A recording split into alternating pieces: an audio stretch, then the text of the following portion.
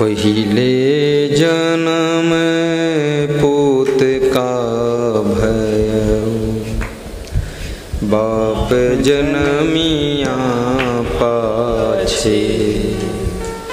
बाप पूत की कई नारी अचरज कोई काछे। संतो बोले जग मारे संतो बोले जग मारे आहा। सदगुरु कबीर साहेब कहते हैं हे संतों, बोलते ही जगत के लोग मारने दौड़ते हैं। दुख इस बात का है, न बोलूँ, लोग आडंबर फैलाते अंधविश्वास फैलाते पाखंड दंभ ये सब देख करके मन में पीड़ा होती है। धर्म के नाम पर आडंबर,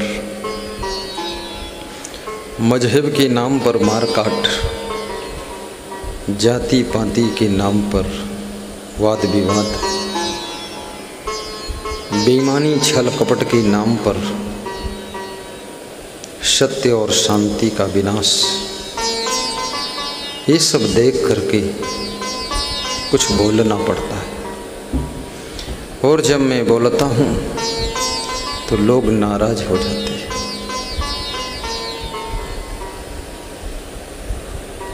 इस जगत में सही बात बोलना बहुत कठिन है। हाँ पिताजी को सही बात कह दो तो वो नाराज़ हो जाते हैं। तो मार उठ जाती है। पत्नी को अच्छी बात कहो तो वो दुखी हो जाती है। जैसा चल रहा है, वैसा चलने दो तो सब चलता रहता है डामाडोल बहू को कुछ कंट्रोल करो तो बहू बहुत व्यथित हो जाती है। पोता पोती को डांटो, समझाओ कि मोबाइल तो मत रखा करो। दूसरों से सूचना देता है ज़्यादा परेशान करिए तो जहर खा लूँगा। दादा दादी भी सोचते हैं, इस दुष्ट को जीने दो, भले जानवर बनकर जी। हमारे नाम से जहर खाएगा तो हम भी बदनाम होंगे। बोलना मुश्किल है। गाँव में कोई गलत काम करता है। कोई बोलना नहीं चाहता उसको। जो बोले वो दुश्मनी हो जाए। गलत चल रहा है। प्रदेश में शासन में बैठे हुए लोग शासन से वंचित लोग, पहले जो शासन में बैठ चुके हैं वो लोग, अब पैदल हो गए वो लोग, उसमें भी जो सही बात बोल दे तो और सही काम करे, ज़्यादा करे, उसके ऊपर सब मिल के टूट पड़ते हैं। गिद्ध की तरह, चील की तरह। सब तरफ़ से नोचने लग जाते हैं। कुतरकना करके झूठ मूठ निंदा करके उसका माहौल बिगड़ते हैं। कबीर साहब कहते हैं, बहुत विवेक की आवश्यकता है। और विवेक करना यदि आ गया, याद रखना। फिर बोलोगे ज़रूर, लेकिन पहले तौलोगे, फिर बोलोगे। जहाँ बोलने से बहुत वाद विवाद हो सकता है, वहाँ कम बोलना चाहिए। और जहाँ बोलने से ज़्यादा ही झगड़ा हो सकता है, चुप भी रह लेना चाहिए। जहाँ मौन रहने से शांति की स्थापना हो सकती है तो मौन भी रहना चाहिए। और गलतियाँ स्वयं भी नहीं करना चाहिए। दूसरों का ख्याल भी रखना चाहिए। परिस्थितियाँ बदलती रहती हैं। कंडीशन चेंज होती रहती है। सिचुएशन चेंज हो जाती है। लेकिन याद रखना मनुष्य का मन भी रोज रोज बदलता रहता है। ये मनुष्य का मन कोई साधारण मन नहीं है। इसके अंदर नाना प्रकार के विचार, उद्गार उठते रहते हैं। ऑटोमेटिक कभी मन खुश रहता है, कभी मन खिन्न रहता है, कभी मन प्रसन्न रहता है, कभी मन दुखी रहता है। कभी मन बहुत खिला हुआ रहता है और कभी मन उदास हो जाता है, कभी निराश हो जाता है। शरीर के कष्ट भी मन के ऊपर प्रभाव डालते हैं। परिवार की उलझने भी मन को प्रभावित करती है। गरीबी भी आपके मन को प्रभावित करती है। बीमारी आपके मन को विचलित कर देती है। इसलिए याद रखना, ये मन कोई साधारण नहीं। मेरे गुरुदेव व्हीकल चेयर पर जा रहे हैं, विज़िट कर रहे हैं आश्रम का। धन्य हो गुरुदेव। नमन है श्री क्षमा देव को। आशीर्वाद है शीतल दास को। बैटरी से गाड़ी चल रही है। देखिए गुरुदेव भ्रमण कर रहे हैं। वाह। कबीर बड़ के नीचे यात्रा चल रही है। गेट को पार कर रहे हैं।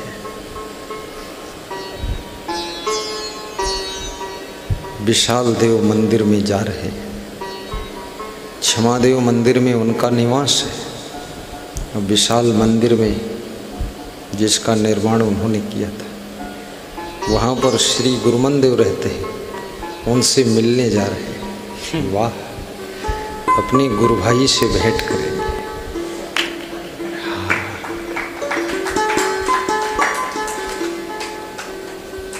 लगभग ढाई सौ मीटर दूर गुरु भाई। गुरु भाई की याद आती है, चल देते हैं। बचपन के साथी रोज मिल के आते हैं। बिस्तर पर लेटे लेटे मन में याद आ जाती कि मेरा बचपन का साथी गुरुमन देव कहाँ है?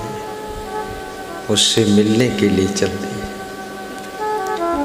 खुद भी शरीर कमज़ोर है, लेकिन मनोबल ज़ोर है। धन्य हो श्री क्षमा देव। तो ये मन के अंदर विशेष परिवर्तन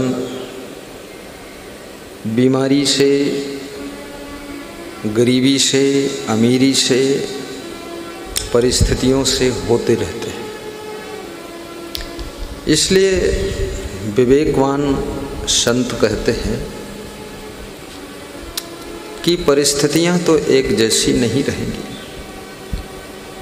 पर आप अपने मन को समझाकर एक जैसा रख सकते एक रस भक्ति एक रस वैराग्य एक रस त्याग एक रस ब्रह्मचर्य एक रस संयम नियम एक रस ज्ञान एक रस आचरण एक रस श्रद्धा एक रस मेहनत एक रस सिस्टम हैं अपना आपकी लगन एक रस लगन यदि है एक रस श्रद्धा है श्रद्धा भी सावधान न रहो तो बदलती रहती है। कम ज़्यादा होती रहती है। भक्ति भी कम ज़्यादा होती रहती है। घर के सदस्यों के प्रति प्रेम भी कम ज़्यादा होता रहता है। उतार चढ़ाव होता है। और कभी तो संसार में 200 वर्ष जीने की इच्छा होती है। कभी संसार में दो घंटे भी जीने की इच्छा नहीं होती। कभी संसार में फिर जन्म लेकर आऊँ। इसी घर में रहूँ, यही पत्नी मिले, यही मेरे माँ बाप बने और यही घर मिले। ऐसा भी मन में होता है। कभी कभी मन उब जाता है तो मन में तुम सोचते हो, अब दोबारा जन्म न लो तो अच्छा है। इसी जन्म में खूब भर पाया हूँ। बहुत दुख मिला है, बहुत पीड़ा मिली है। और मन आपका दुखित हो जाता है उब जाता है। तो ये सब उतार चढ़ाव जैसे समुद्र में ज्वार भाटा आता है, लहरें आती हैं, ऐसे आपके मन में भी लहरें चलती हैं। और लहरों में जो बह गया, वो डूब जाता है। और लहरों से दूर खड़ा होकर जो उन्हें देखता रहता है, वो आनंद लेता है और डूबता नहीं समुद्र का आनंद उसके तट पर दूर खड़े होकर ही आता है। अंदर घुस गए तो डूबने की भी संभावना है। संसार समुद्र है, इसमें डूबो भी मत, उबो भी मत, और उथले रहो परो जन गहरे मत, हाथों की खोवो हो। कबीर साहब कहते हैं, उथले में रहो, छिछले में रहो, हल्के में रहो, बहुत गहरे में मत जाओ। जो हाथ में आ गया है, उसको खो मत। संभाल के रखो, पकड़ के रखो। जो भक्ति मिली है, जो गुरु की सेवा मिली है, जो सत्संग मिला है, ये खो ना जाए कहीं, इसकी भी फ़िक्र रखो। जो प्रेम मिल रहा है, वो प्रेम खोने ना पाए। उस प्रेम को निरंतर पाने के लिए अपने आप को संभाल कर रखो। अपने आप को सावधानी के बीच में चलाइए। अन्यथा जो भी मिला है, वो खोने में भी देर नहीं लगी। कितने लोगों का प्रेम भी खो गया है।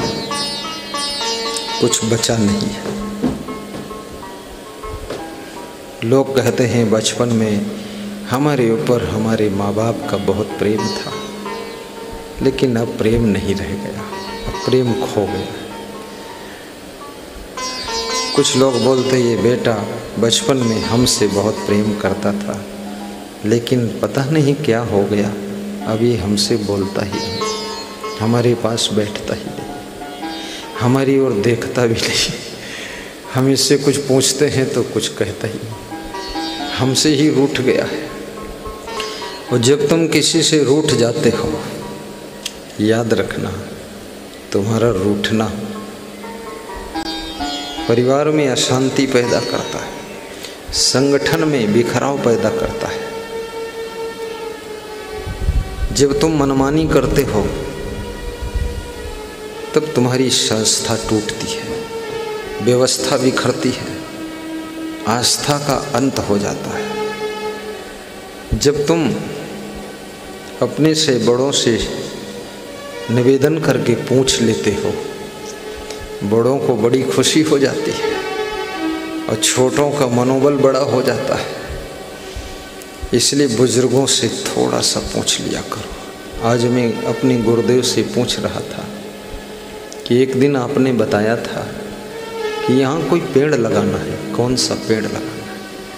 तो गुरुदेव बोले, लीची के पेड़ लगवा दीजिए। तो मैंने कहा, कहाँ पर लगाना है?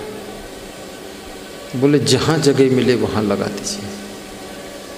तो उनका चेला बोला कि, चीकू के उस दिन आपने चीकू के बताया था। तो गुरुदेव बोले हाँ हाँ चीकू। तो हमने कहा, चीकू और लीची दोनों लगा देंगे। उनसे थोड़ा सा पूछ लिया।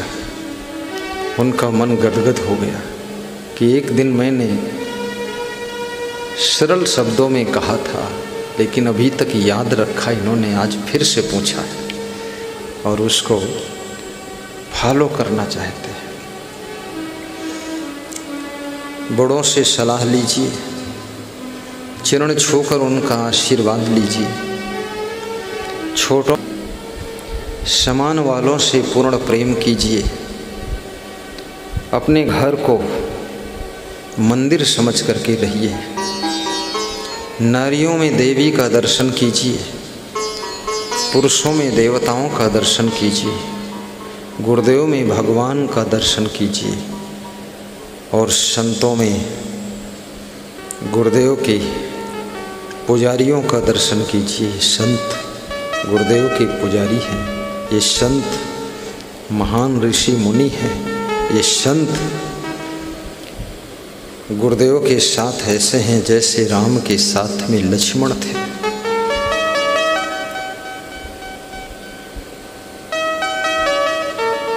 और आश्रम को भी नमन कीजिए। गुरुदेव की हर वस्तु को श्रद्धा से देखिए। पार्वती जी ने शिव जी से पूछा है, गुरु के प्रति कैसी श्रद्धा होना चाहिए? शिव जी कहते हैं गुरु। पादुकासन शय्यादि गुरुणा यदयभीष्ठितम् नमस्कुर्वीत तत्सर्वं पादाभ्याम न अस्पृशेत क्वचित। आइए सदगुरु। आपका आगमन इधर लाइए सदगुरु का दर्श। मुझे कराइए, लाइए लाइए लाइए लाइए। पास में आइए आइए आइए। सदगुरु का दर्शन। और आ जाओ आइए सदगुरु, आपका स्वागतम। स्वागतं स्वागतं स्वागतं स्वागतं स्वागतं स्वागतं स्वागतं स्वागतम। इधर से निकालना के सामने सदगुरु आपका स्वागतम। स्वागतम स्वागतं स्वागतं स्वागतं प्रेम से स्वागतम नेम से स्वागतं आइए सदगुरु, आपका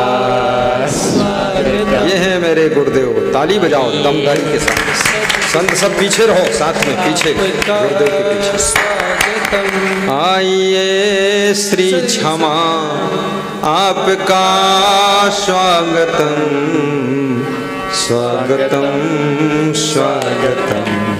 स्वागतम। स्वागतं आइए मान्यवर आपका गुरुदेव स्वयं को देख रहे हैं कि मैं क्या हूँ। स्वागतम। स्व अपने चेला को भी देख रहे हैं। क्या सुना रहे हैं मस्त। स्वागतम। स्वागतम। स्वागतम स्वागतं आइए सदगुरु, आइए संत जी, स्वागतम स्वागतम स्वागतम स्वागतम स्वागतं स्वागतं आइए सदगुरु। वाह आपका स्वागतं आइए सदगुरु, आपका स्वागतं आपका स्वागतम, आपका स्वागतं आइए सदगुरु, आपका स्वागतं आइए सदगुरु। आपका स्वागतं बोलिए सदगुरु भगवान की जय पूज्य श्री क्षमा देव की। जय। यथास्थान बैठ जाए। गुरुदेव दर्शन देकर जा चुके हैं। उनके दर्शन पाकर हम लोग कृतार्थ हो चुके हैं। साहिब बंद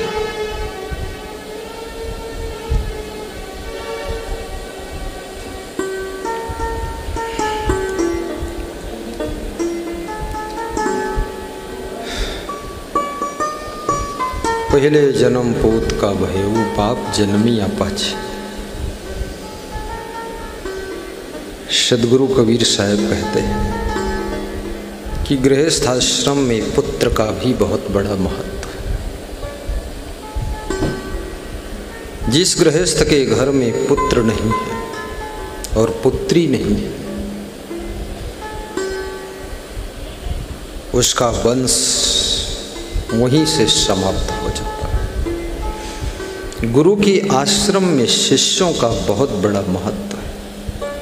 जिस गुरु के आश्रम में, जिस गुरु के श्री चरणों में शिष्य नहीं है, उस गुरु के ज्ञान के प्रचार प्रसार का अंत हो जाता है। भविष्य में जिस गुरु की वाणी से करोड़ों लोग कृतार्थ हो रहे थे, उसकी वाणी अब जन जन तक पहुँचने में असमर्थ हो जाती है। इसलिए गुरु शिष्य परंपरा, पिता पुत्र परंपरा, माँ बेटी की परंपरा, गृहस्थाश्रम एक संघर्ष का आश्रम है। जिस आश्रम में समस्याएँ क्रमशः आती ही रहती है। और विरक्त आश्रम जो संत आश्रम है संन्यास आश्रम बहुत कम इसमें संघर्ष होते हैं।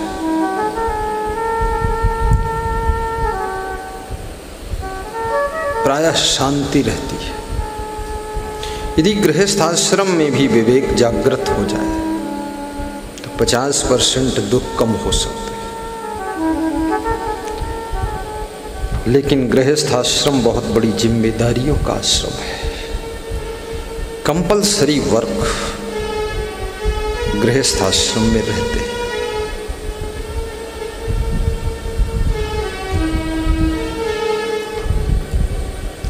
इसलिए अपने पुत्र को और पुत्री को संभाल कर रखिए। शिष्य को भी संभाल कर रखिए। शिष्य यदि महान होगा तो उन्हीं शिष्यों में से कोई शिष्य एक दिन महान गुरु बनेगा सभी शिष्यों के अंदर गुरु बनने की प्रतिभा नहीं होती। हर पुत्र बाप नहीं बन पाता है हर बेटी माँ नहीं बन पाती। है कुछ लोगों के संतान का जन्म ही नहीं होता है। परंतु हर शिष्य को गुरु बनने का लालच भी नहीं करना चाहिए कि मैं गुरु बनूं।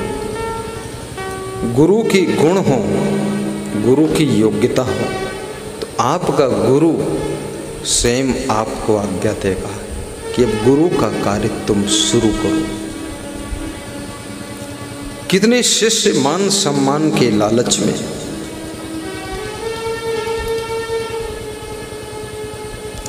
ज़बरदस्ती गुरु बनने की कोशिश करते हैं।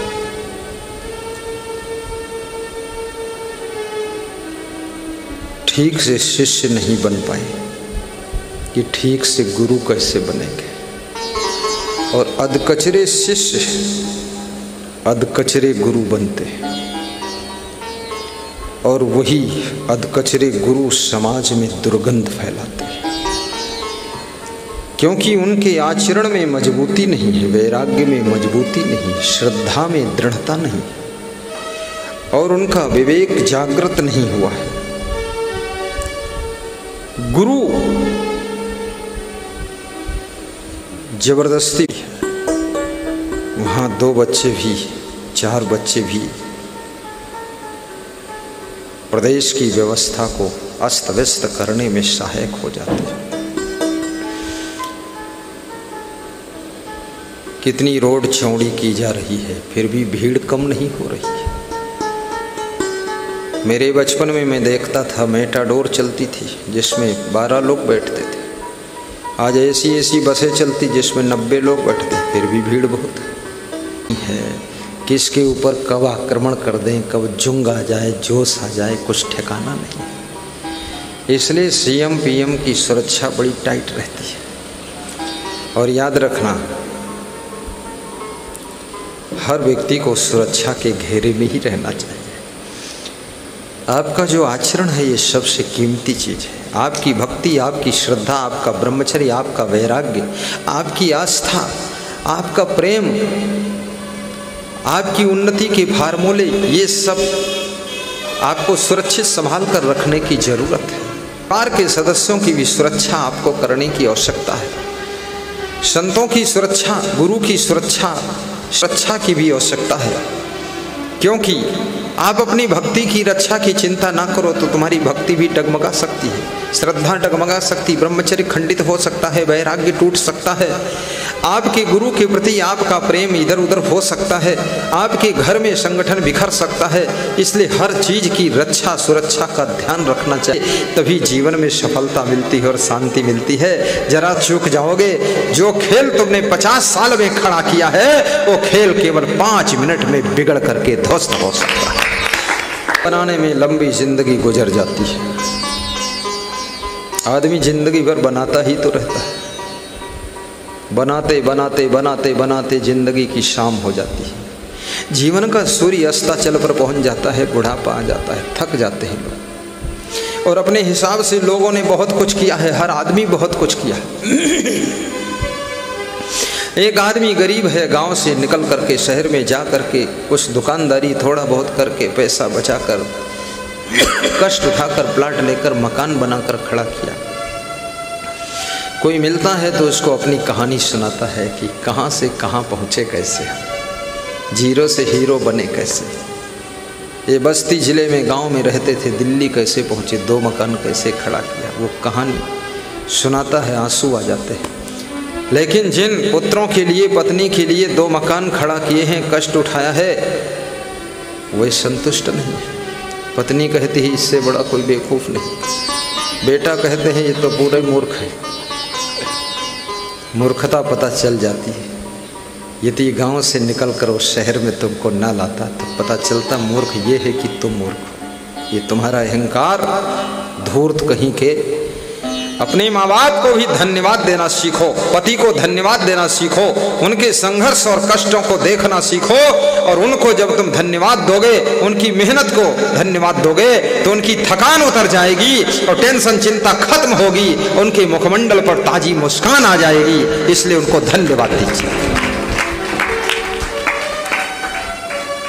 मेरे गुरुदेव कह रहे थे कि दो सौ रुपये हमारे पास नहीं थे एक दिन तो दो सौ रुपये के कारण चार एकड़ ज़मीन हमारी चली गई। आश्रम की दो सौ रुपये की तंगी थी।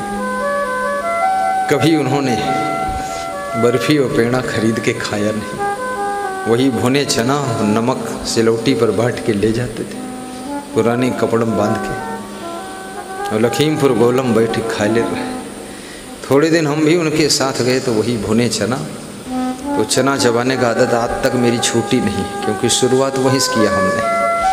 तो भक्तों को बता देता हूँ, भुने चना ले आना। तो ले आते भगत लोग।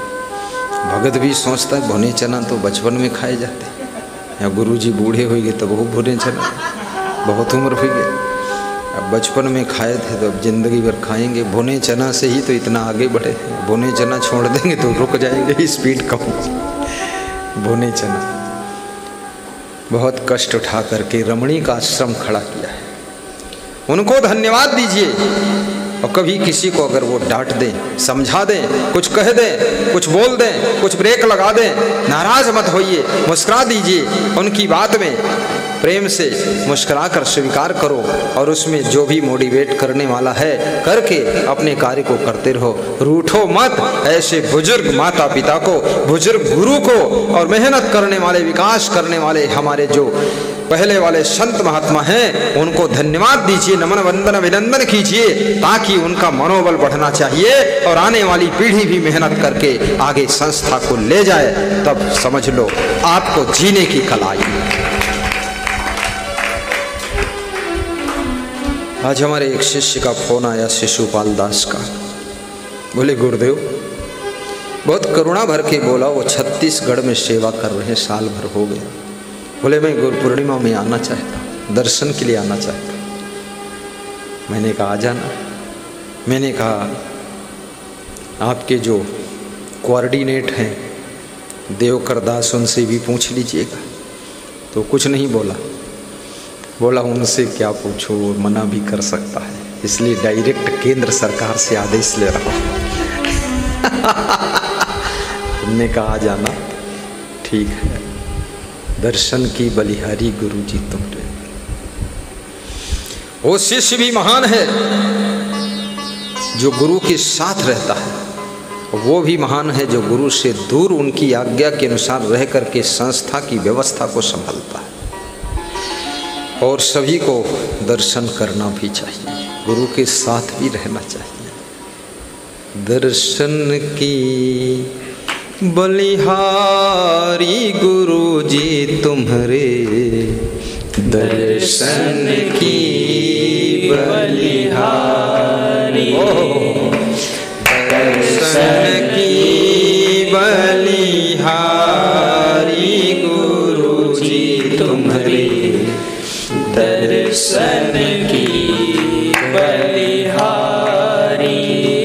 तुम्हारे दरस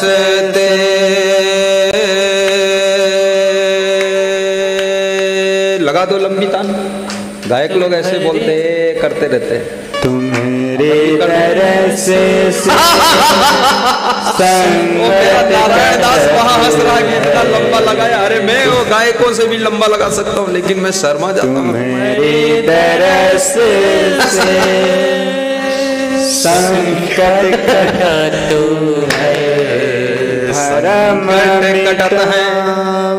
आगे क्यों गाऊं? मैं नया ढंग से गाऊँगा। संकट काटूँगा पहले तीन बार।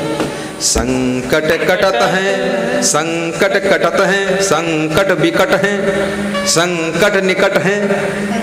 क्रम मिटावत भारी गुरु जी तुमरे दर्शन की बलिहारी। दर्शन की बलिहारी गुरु जी तुम्हारे दर्शन की बलिहारी। बार बार गुरु का दर्शन करो। ये मत सोचना, जिस पेड़ को आज तुम देखते हो, जिस वृक्ष का आज दर्शन करते हो, ये मत सोचना, ये वही पेड़ है। आने वाले कल में इसमें नई कोपले निकल जाती हैं, नए पत्ते निकलते हैं, नई टहनियाँ निकलती हैं, फूल आते हैं, फल आते हैं, और फल भी रोज बदलता है, पकता है, पीला हो जाता है। याद रखना, ऐसे गुरु रोज रोज नए रूप में दर्शन देता है। गुरु रोज रोज ताज़ा होता जाता है। उसके अंदर भी नई कोपड़े निकलती है। उसका आशीर्वाद भी नया नया मिलता है। इसलिए गुरु का दर्शन बार बार करना चाहिए। बार बार दक्षिणा भी दो बार बार दर्शन करो बार बार सेवा करो बार बार प्रसन्न हो जाओ बार बार नमन करो, वंदन करो, अभिनंदन करो बार बार बंदगी करो, साहेब बंदगी बार बार उनके चरणों में प्रणाम। बार में बार सतगुरु दर्शन दीजो आवीने। गुजरात के भक्त भजन के माध्यम से गाते हैं कि हे सदगुरु, बारंबार दर्शन आकर दे देना। वो होशियार है। कोई नहीं कहते बार बार दर्शन करने आऊँगा। वो कहते, दर्शन देने आना। हाँ चतुर है। गुजरात का आदमी ऐसे ही बुद्धिमान होता है। वो बोलता, आप आ जाना बार बार मेरे गुजरात में आ जाना। ताकि मेरी ज़िंदगी में अज्ञान की रात ना हो। मेरी ज़िंदगी में ज्ञान का प्रभात, ज्ञान का सवेरा रोज नया बना रहे। मेरी ज़िंदगी अज्ञान के अंधकार में भटकने ना पाए। इसलिए बारंबार आकर के मेरे द्वार पर, मेरे घर पर, मेरे गुजरात में, मेरे जिलों में दर्शन देना। वहीं हम भी बार बार दर्शन करेंगे, आपकी सेवा करेंगे। मेरे घर में चरण रखना, पधरौनी कर देना। बड़ा प्रोग्राम भी कभी करूँगा, लेकिन अभी पधरौनी हो जाए। एक घंटे के लिए आ जाना। बार में बार सतगुरु दर्शन दीजो आवीने बार में बार सतगुरु दर्शन दीजो आवीने दर्शन दीजो आवीने प्रभु दर्शन दीजो आवीने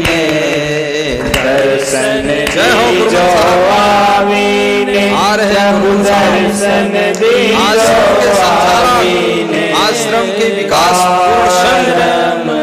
जिनकी महिमा है आइए भगवान। बारम बार सतगुरु दर्शन दीजो बारम बार सतगुरु दर्शन दीजो आवीने बारम बार। वाह वाह जय हो संचालक साहब। दर्शन दीजो आवीने। दर्शन दीजो आवीने प्रभु दर्शन दीजो आवीने। दर्शन दीजो आवीने प्रभु दर्शन दीजो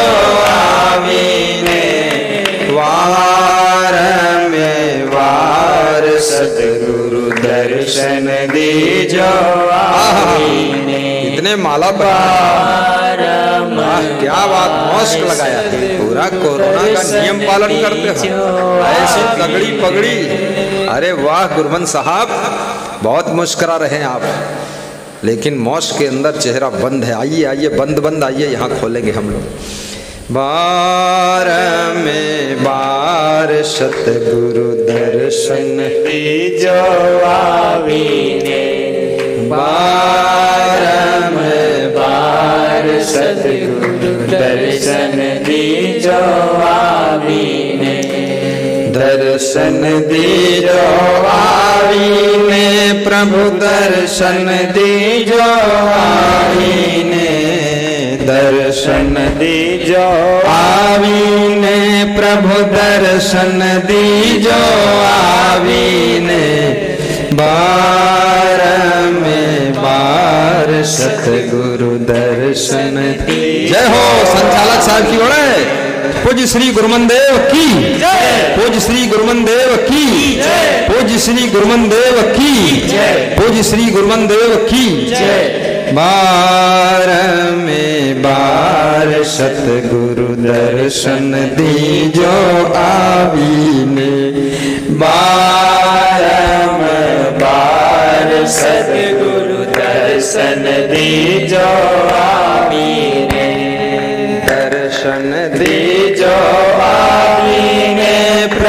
दर्शन दीजो आवीने दर्शन दीजो आवीने प्रभु दर्शन दीजो आवीने बार में बार सतगुरु दर्शन दीजो आवीने बार में बार सतगुरु दर्शन दीजो आवीने। आज हमारा भाग्य जाग्या आप आविने, दर्शन आप्या। आज हमारा भाग जागिया आप आविने, दर्शन अमनिश थाप्या एवा मोजित अमनिश थाप्या शोभा भक्ति के रो साज सजावीने। शोभा भक्ति के रो साज सजावीने। वंदन करिए शेष नमावीने बैठिए सब करिए सतगुरु तमने शीश संचालक साहब को इधर भी दर्शन करा दो तमने शीश नवावीने गुरु तमने शीश नवावीने बार में बार सतगुरु दर्शन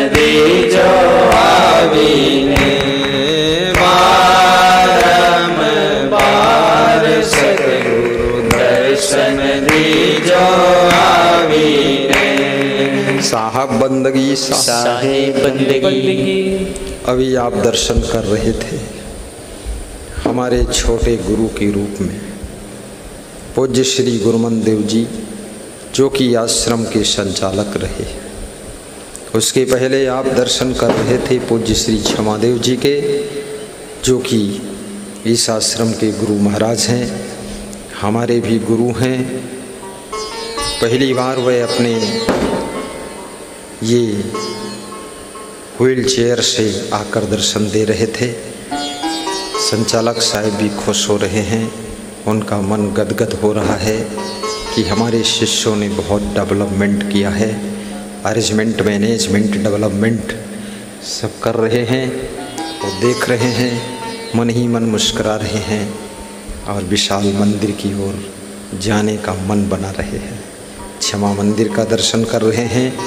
ये हाल जहाँ सत्संग हो रहा है, इसका नाम गुरुमन देव हाल रखा गया है। ये गुरुमन देव सत्संग हाल है। उनके नाम से इस हाल का नामकरण किया गया है। इसका बोर्ड लग जाएगा। थोड़ी दिन में सब तैयारी हो जाएगी।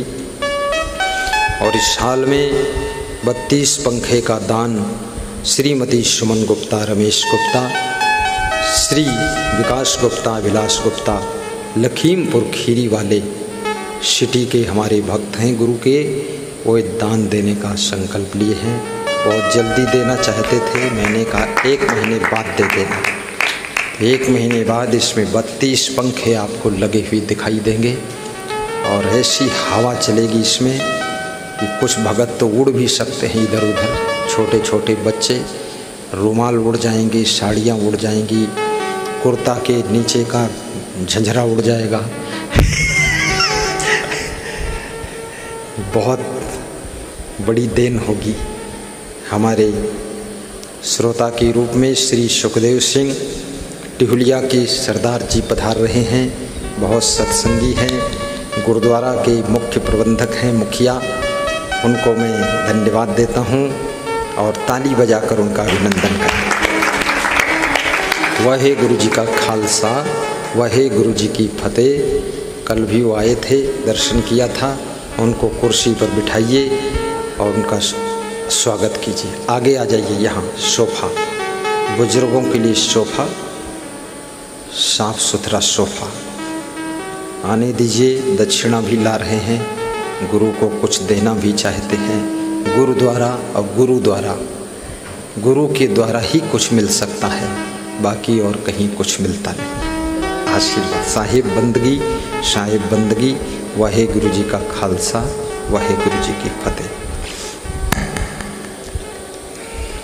हमारे सभी श्रोताओं को व्यास का दी धन्यवाद दे रही है। आइए सत्संग को आगे बढ़ा देते हैं।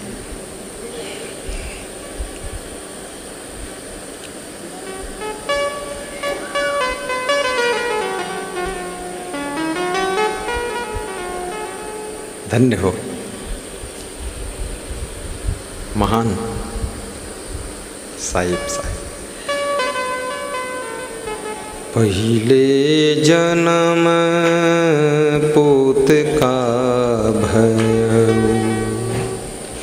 बाप जनमिया पाछे। बाप पूत की ये अचरज कोई काछे। संतो बोले ते जग मारे। वाह। संतो बोले ते जग मारे। कबीर कहते हैं,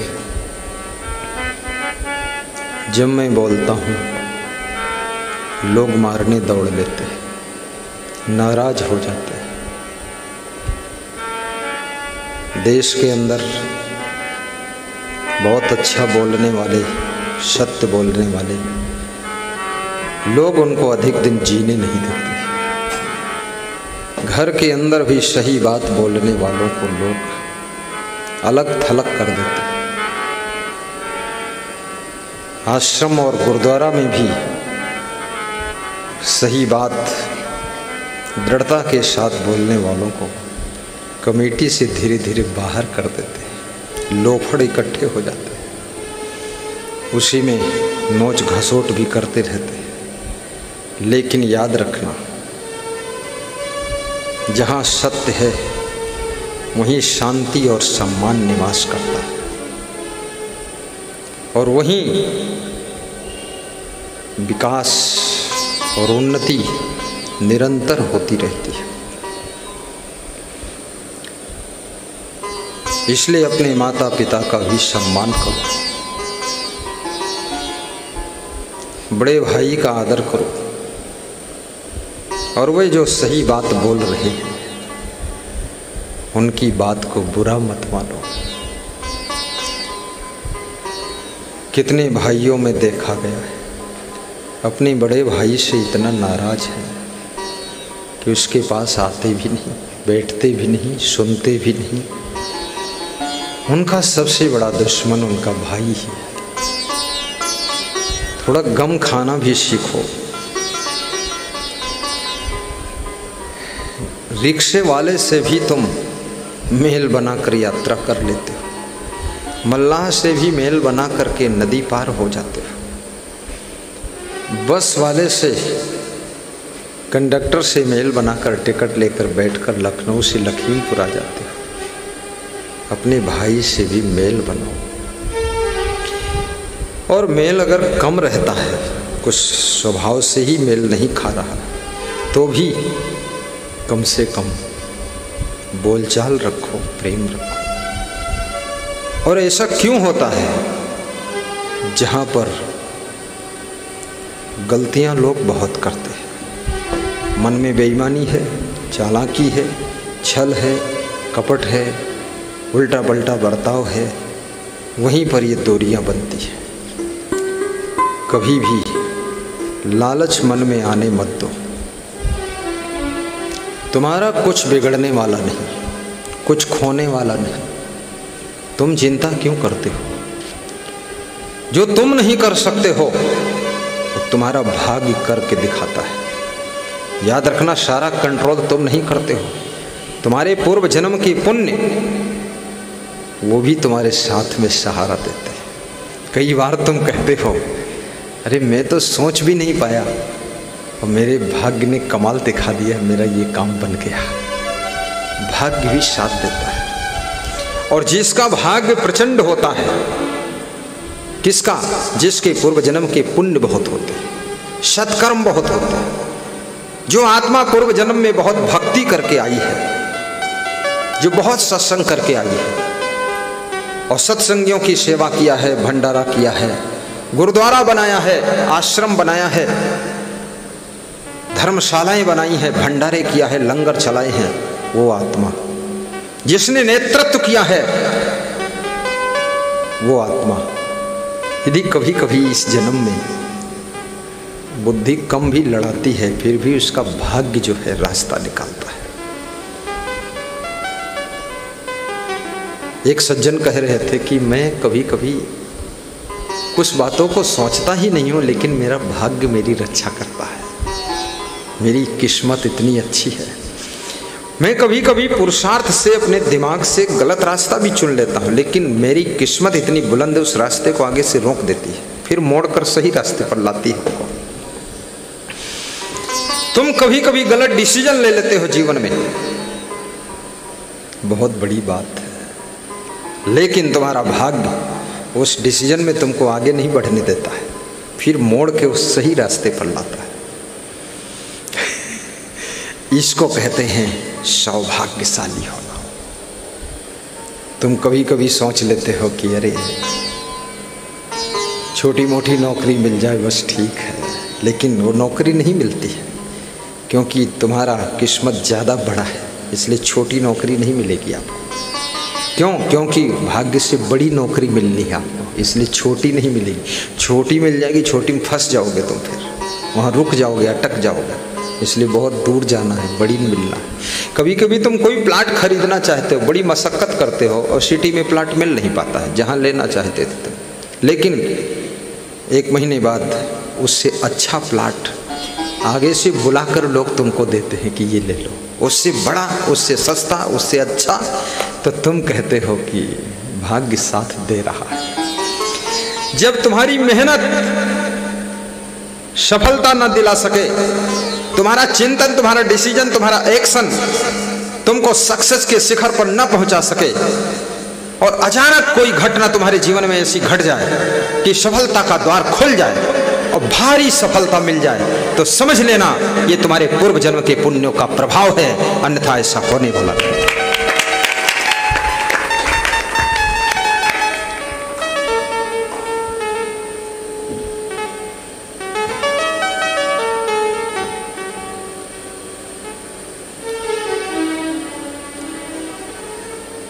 बहुत बड़ी बात। है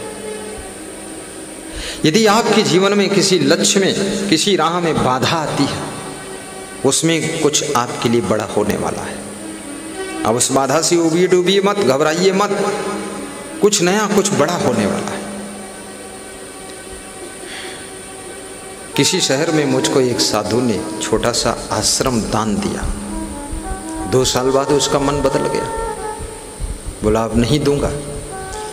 तो एक दिन मैंने सोचा इसमें चार लाख रुपए खर्च हो गए। मेरा समय भी खर्च हुआ। अब इसका मन बदला है। उसके मोह आ गया, बोला, अब अपने नाती को दूँगा। तो मैंने कहा, जय हो श्री क्षमा देव की, कुछ बड़ा होने वाला है।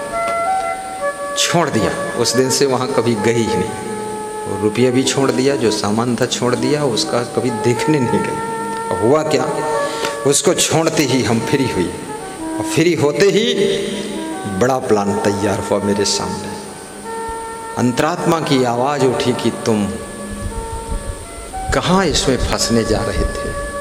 तुम इतने विश्व के महात्मा हो, तुम इसके लफड़े में कहाँ फंस रहे थे? अरे प्रभु, तुम विश्वनाथ हो, तुम कहाँ ये एक नाथ में फंस रहे थे?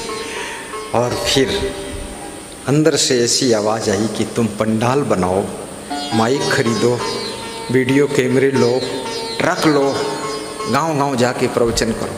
वो सब मैंने सोचा एक साल में सब हो गया। गाँव गाँव में प्रवचन करने लगे।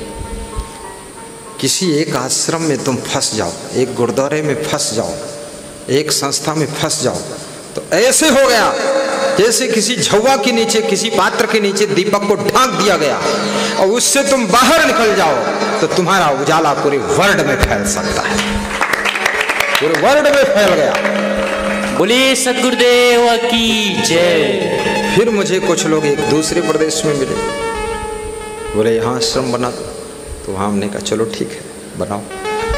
वहाँ भी कुछ बाधा आई। तो हमने कहा बहुत बढ़िया है इससे भी बड़ा कुछ होने वाला है। लगता तो हम उधर से भी सिमट लिए पीछे हटे। उससे बहुत बड़ा कुछ हो गया। फिर राजधानी के पड़ोसी एक आश्रम बनाया फिर मन वहाँ से भी हटा। फिर राजस्थान में भी एक आश्रम बनाया। फिर मन वहाँ से भी हटा। वो सब आश्रम है हमारे पास ही, पर मन हटा हुआ ये आश्रम था। यहाँ भी हम रहते हैं। देखते हैं, ठीक है। लेकिन मन में पूरा लगाव नहीं है। इसके प्रति ना मन हटा हुआ है। यहाँ से भी हटा है। सब जगह से हटा है। तो फिर कहाँ डटा है? डटने वाला है। क्या? ऐसा डटने वाला है, कुछ बहुत बड़ा होने वाला है। क्या होने वाला है? कोई बहुत बड़ी तीर्थ नगरी में बहुत विशाल आश्रम बनने वाला है, जहाँ पाँच लाख भक्तों का लंगर चलेगा। पाँच लाख भक्त एक साथ लंगर में खाएँगे भोजन, दाल, चावल, सब्ज़ी, रोटी, खीर, पूड़ी, हलवा, छकेंगे और बैटरी गाड़ी से दाल चावल लद के जाएगा। पंगत के बीच में बैटरी गाड़ी ले जाएगी, जिसमें पाँच पाँच कुंटल चावल लदा होगा। चार चार लोग बांटेंगे। पूरा रोड बनी होगी, उसमें पंगत दोनों तरफ़ चल रही होगी। उसके बीच में मैं भी घूमूँगा, मैं भी किसी किसी को पूड़ी दूँगा, हलवा दूँगा, बाटी दूँगा। और बहुत बड़ा होने वाला है। कहाँ होने वाला है, ये नहीं बताऊँगा। होने वाला है। क्योंकि आप अगर सुई पा गए और उसको मुट्ठी में मजबूती से पकड़ लिया तो याद रखना, फिर सुई ही पकड़े रहोगे। अगर मुट्ठी खोल दिया, सुई दूसरे के पास आ गई तो तुम्हारे मुट्ठी में कुछ बड़ा आने वाला है। खुल गई मुट्ठी। और कुछ लोगे आप। इसलिए कहीं लालच में भी मत फंसो।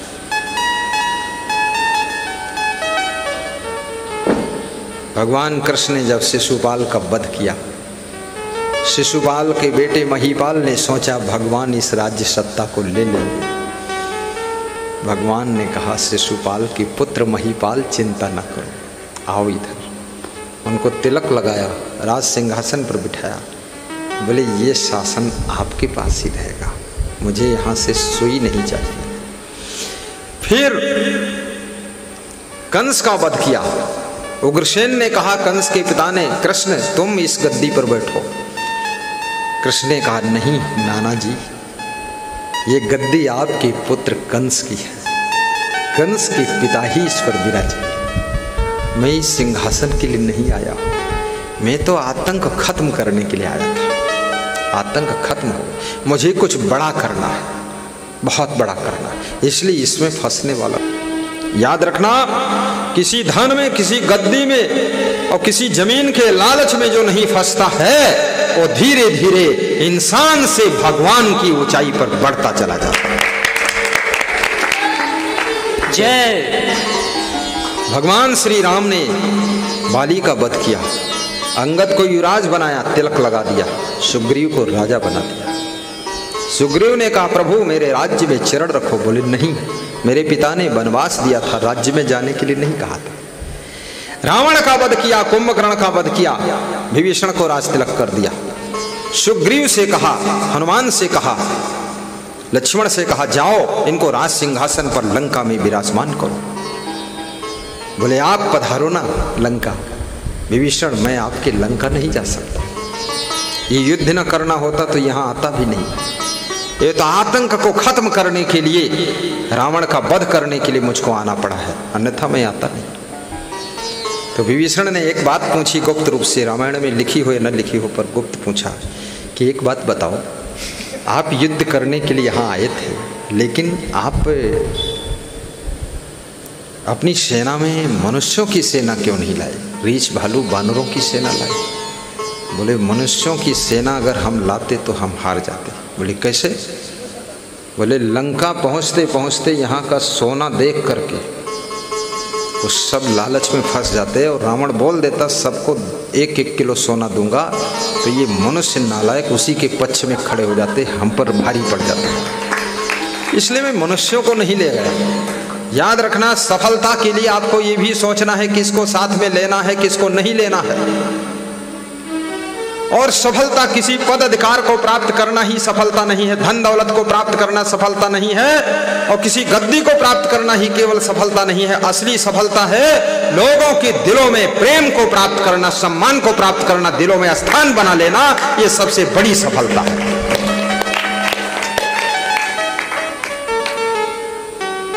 भगवान राम कहते, लीच भालू बानर के लिए सोना चांदी का महत्व ही नहीं, इसलिए इन्हीं को लाया हूँ। इनको लालच नहीं दिया सकता क्योंकि ये सोना चांदी पहनते ही नहीं और जानते भी नहीं। वास्तव में जो व्यक्ति ये क्षुद्र चीज़ों का मूल्य नहीं समझता है और क्षुद्र चीज़ों के लिए मन में लालच नहीं रखता है। वही व्यक्ति आपका सही साथ दे सकता है और अंत तक आपके साथ को निभा सकता है।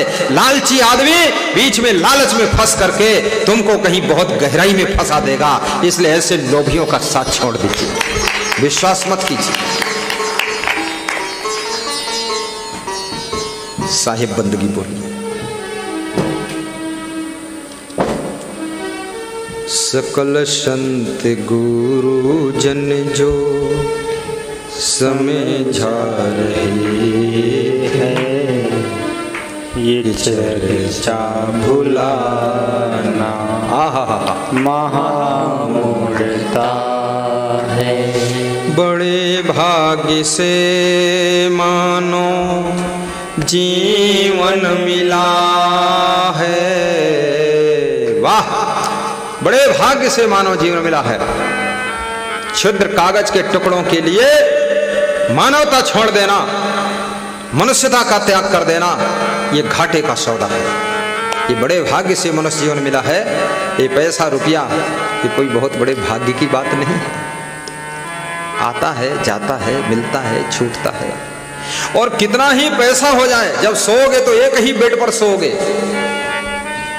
जब तकिया सिरहाने लगाओगे, एक तकिया लगाओगे, खाओगे तो दो चार रोटी ही खाओगे। ऐसा नहीं कि आप पैसे वाले तो सौ रोटी खा लेंगे, आप पैसे वाले तो दस बेड पर सोएँगे, टांगे फैला करके, आपकी लंबाई ही नहीं है। आप पैसे वाले हैं तो 20 गाड़ी में एक साथ बैठ करके चलेंगे ऐसा संभव नहीं हो सकता। आपको एक ही गाड़ी में एक समय बैठना पड़ेगा। इसलिए पैसा वाला होना बुरा नहीं है लेकिन पैसे के लिए ईमान को छोड़ देना और पैसे के लिए मानवता को त्याग कर देना ये सबसे बड़ा घाटे का सौदा है।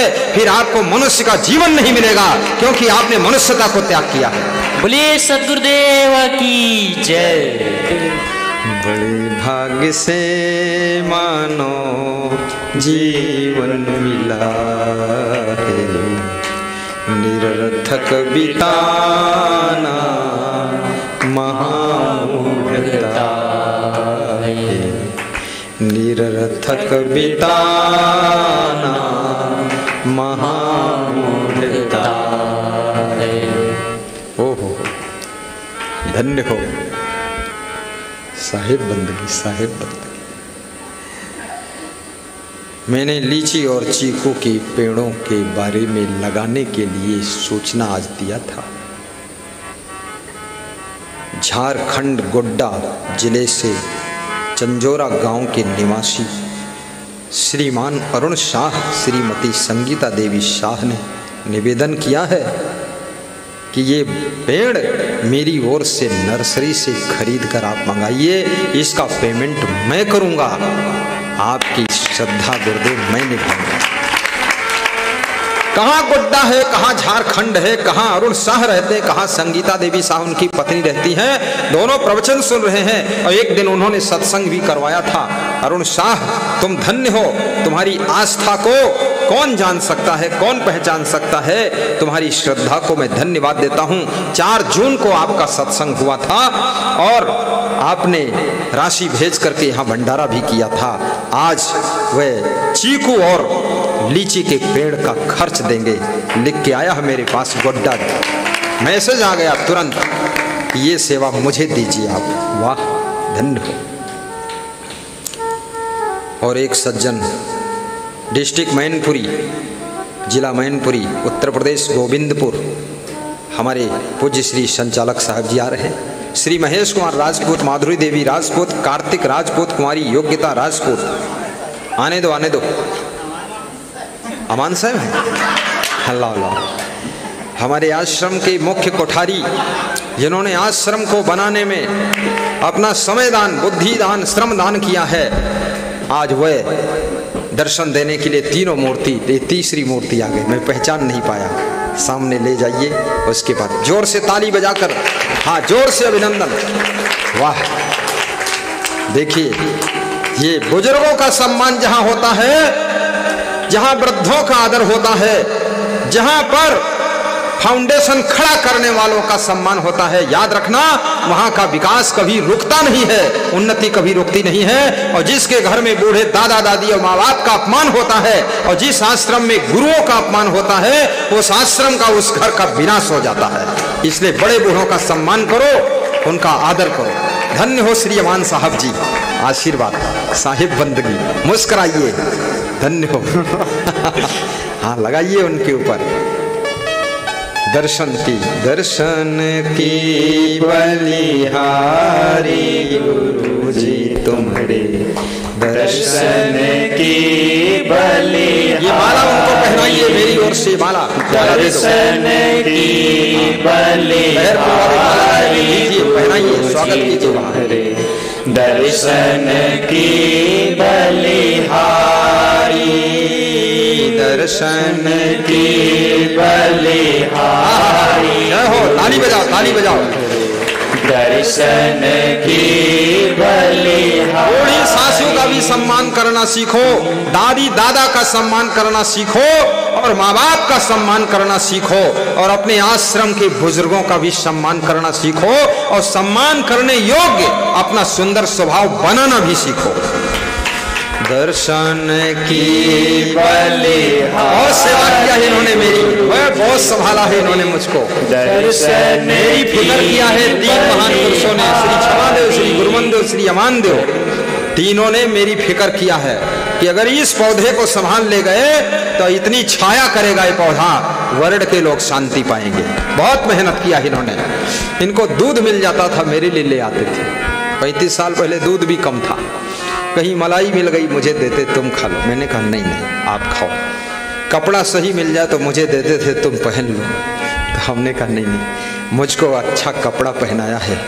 अब मेरा फ़र्ज़ है कि इनको ज़िंदगी भर कपड़ा पहनाऊं और इनका सम्मान करूँ, हम सब मिल करके इनका आदर करेंगे।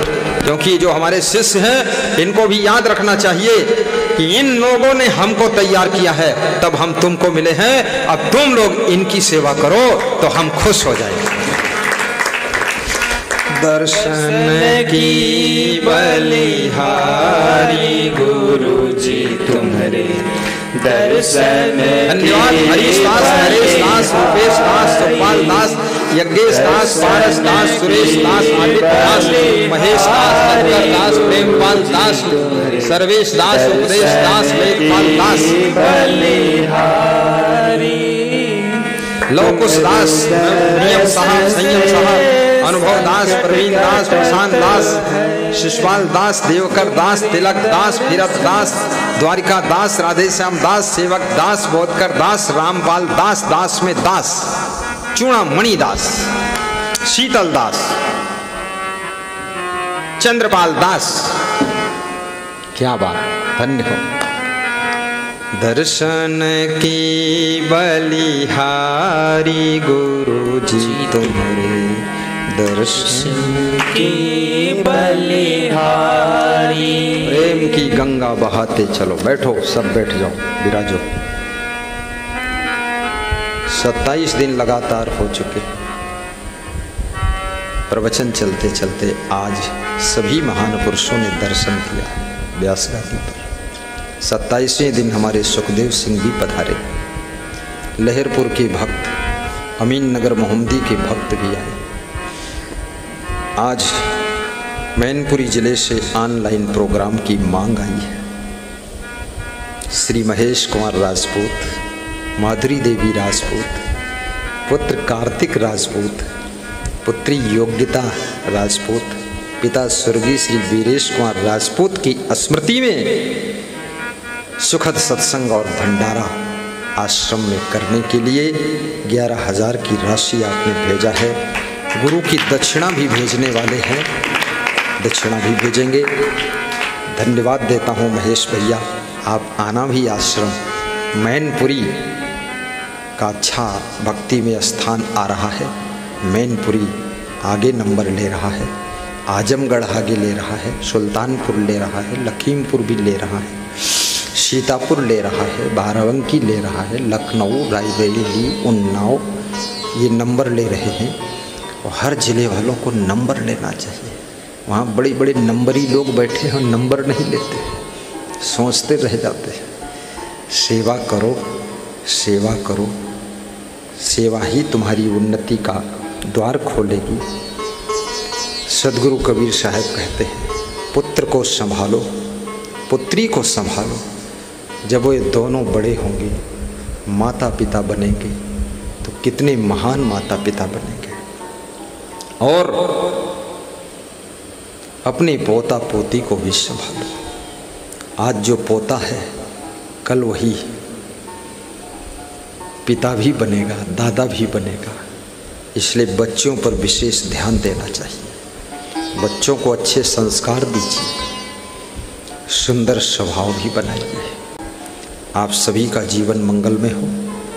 आज के आयोजक, महान भक्त श्री मध्य प्रदेश के निवासी गुना डिस्ट्रिक्ट, जहाँ पर राष्ट्रपति के भाई श्री राम स्वरूप गोविंद जी रहते हैं, जिन्होंने दो वर्ष पहले मेरा सत्संग गुना में करवाया था। और वहाँ पर राष्ट्रपति से उन्होंने मोबाइल से बात भी कराया था, आशीर्वाद दिलाया था राष्ट्रपति को। वहीं के निवासी प्रदीप ओझा, भावना ओझा, चंचला ओझा, मोहित ओझा श्रीमान शिव नारायण ओझा, बिमला देवी ओझा, संपूर्ण ओझा परिवार को हीरो हांडा सर्विस सेंटर आपका गुना में है।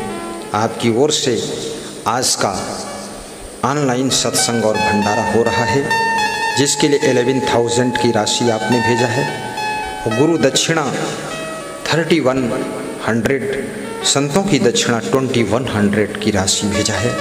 आपको बहुत बहुत शुभकामना करता हूँ, आशीर्वाद देता हूँ। और बहुत से लोग पूछते हैं, गुरु पूर्णिमा कहाँ होगी? मैं आपको बता देता हूँ। एक जुलाई से लेकर पंद्रह जुलाई तक, एक जुलाई से लेकर पंद्रह जुलाई तक गुरु पूर्णिमा के उपलक्ष्य में पंद्रह दिन गुरु दर्शन, गुरु दीक्षा, सुखद सत्संग एवं भंडारा तपोभूमि विश्व कल्याण आश्रम कबीरधाम मुस्तफाबाद डिस्ट्रिक्ट लखीमपुर खीरी, उत्तर प्रदेश, नेपाल, बॉर्डर पर हो। कोरोना संक्रमण को ध्यान में रखते हुए पंद्रह दिन गुरु पूर्णिमा मनाई जाएगी। पंद्रह दिन ये विश्व कल्याण आश्रम में। सब भक्तों को छूट दी जा रही है। पंद्रह दिन में अलग अलग दिनों में आप आते रहिए, दर्शन करते रहिए, आशीर्वाद लेते रहिए गुरु पूर्णिमा मनाते रहिए। और एक जुलाई से यहाँ पर गुरु के कर कमलों से दीप प्रज्वलन भी किया जाएगा। रोज़ उसके लिए सुखपाल जी व्यवस्था कर लेंगे एक जुलाई से। और 18 जुलाई से लेकर के 18 जुलाई से लेकर के 8 अगस्त तक गुरु पूर्णिमा के उपलक्ष्य में दर्शन कोटा राजस्थान में देने की संभावना है। कोटा में, ताकि वहाँ मध्य प्रदेश, महाराष्ट्र, गुजरात, सौराष्ट्र, मारवाड़, मेवाड़, दिल्ली, हरियाणा और पंजाब और छत्तीसगढ़ और साथ में आसपास के प्रदेशों के लोग आसानी से आ सकें, क्योंकि उज्जैन, ओए, कोटा कोटा एक जंक्शन है, कोटा फोर लेन है और कोटा बहुत बड़ा शहर है, एजुकेशन हब है और कोटा जयपुर के बाद बहुत बड़ी सिटी मानी जाती है। आने में सुविधा है, यातायात के संसाधन बहुत अच्छे हैं। इसलिए कोटा में 18 से सुखद सत्संग भंडारा प्रारंभ हो जाएगा और कोटा में गुरुदीक्षा भी प्रारंभ होगी और कोटा में बहुत सुंदर गुरु महाराज प्रवचन भी देंगे। साथ में जो भक्तगण आएँगे उनको गुरु पूर्णिमा के उपलक्ष्य में 18 जून से ही दर्शन प्रारंभ हो जाएँगे। आशीर्वाद प्रारंभ हो जाएगा। इसलिए 18 जून से आप कोटा राजस्थान आश्रम आंवली में आ सकते हैं और एक जून से लेकर 15 जून तक विश्व कल्याण आश्रम लखीमपुर खीरी उत्तर प्रदेश में आ सकते हैं। जिनके गाँव में कोरोना नहीं है और जिनको खुद कोरोना नहीं है, जिनकी फैमिली में कोरोना नहीं है वही लोग आएँगे। और जिनको कोरोना है, वो नहीं आएँगे। और जिनके घर में कोरोना है, किसी को वो भी नहीं आएँगे। और दूर से दर्शन करेंगे, चरण नहीं छुएँगे, चरणामृत नहीं लेंगे, गुरु के माला गले में नहीं पहनाएँगे, प्लास्टिक माला लाएँगे, ये फूलों की माला भी लाएँगे, हमारे संत को दे देंगे, वो हमारे सामने रख देगा। और फिर आप आकर के दर्शन कीजिए, आशीर्वाद लीजिए, गुरुमंत्र लीजिए, ये व्यवस्था कर दी गई है। निरंतर भंडारा चलता रहेगा। ऑनलाइन सत्संग भी होता रहेगा। मुख्य गुरु पूर्णिमा का आयोजन का दिनांक 24 जून है। 24 जून को, नहीं 24 जुलाई 24 जुलाई, देखो भूल भाल हो जाए, संभाल लेना। 24 जुलाई को मुख्य गुरु पूर्णिमा का दिवस है। गुरु पूर्णिमा महोत्सव है। पूरे देश विदेश में मनाया जाएगा। गुरु की महिमा है। लेकिन अपन लोगों ने इसको पूरा महीना भर से ज़्यादा समय रख दिया है, ताकि एक साथ भीड़ ना हो। रहने ठहरने की व्यवस्था भी सही बनी रहे, ठीक से दर्शन भी मिल सके, और कोरोना का नियम गाइडलाइन भी पालन हो सके, लोग एक दूसरे को सट न सके, इसलिए ऐसा इंतज़ाम कर दिया गया है। क्योंकि गुरुदेव तो वही आपको दर्शन देंगे। तो गुरु पूर्णिमा के उपलक्ष्य में ये दर्शन प्रारंभ हो रहे हैं। कृपया तैयारियाँ कीजिए आने के लिए। अपने अपने निजी वाहन से आइए तो सबसे अच्छा है। यदि वाहन आपके पास उपलब्ध नहीं है तो एन के एन प्रकारेण आ जाइए।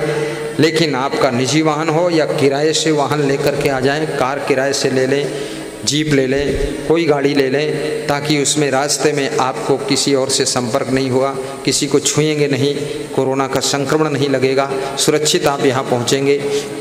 और गुरु के निकट जब पहुँचे तो मॉस्क लगा लें, और गुरु से दूर बैठे तो मॉस्क हटा दें, आराम से सांस लें, ऑक्सीजन लें, क्योंकि हर समय मॉस्क नहीं लगाना है, जब दूर बैठना है। भीड़ में रहें तो मॉस्क लगा लें, साहिब बंदगी बोले। आज ये सूचना प्रसारित कर दी गई है 18 जून से 8 अगस्त तक। कोटा राजस्थान में दर्शन, आश्रम में। और एक जुलाई एक जुलाई से 15 जुलाई तक विश्व कल्याण आश्रम में 18 जुलाई से 8 अगस्त तक। देखो, बहुत बड़ी बात है। जून जुलाई समझते रहना उल्टा पलटा बोलूँगा। सुधार लेना। हाँ। ये दर्शन का कार्यक्रम होगा। बोल दिया गया है, गुरु पूर्णिमा के उपलक्ष्य में महीने भर से ज़्यादा दर्शन का कार्यक्रम चलेगा। साहब बंदगी साहब बंदगी साहब बंदगी बोलो वाहे गुरु जी का खालसा वाहे गुरु जी की फतेह।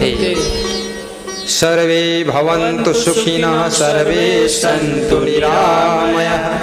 सर्वे भद्राणि पश्यन्तु मा कश्चित् दुःखभाग् भवेत् सुखी बसे संसार सब दुखिया रहे न को ऐसी मेरी भावना पूर्ण करो प्रभु सो